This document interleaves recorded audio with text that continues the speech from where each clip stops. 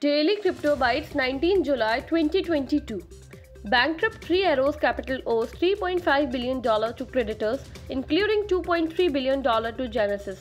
Paraguay one step closer to being a paradise for Bitcoin miners. 300 plus NFTs stolen, 400k dollars in Ethereum taken in pre-mint hack. CryptoPunk's floor price tops 100k dollars in Ethereum for first time in 2 months. Coinbase and other crypto exposed Stocks rally as Bitcoin Ethereum rebound. BlockFi offering employee buyouts just one month after cutting staff by 20%.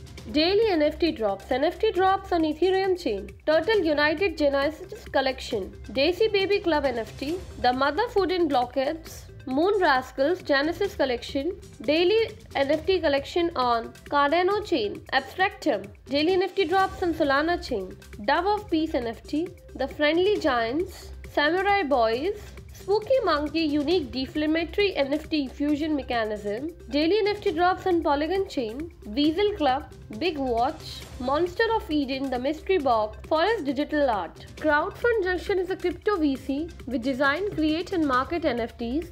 Start your own collection. Please visit www.madfornfts.com.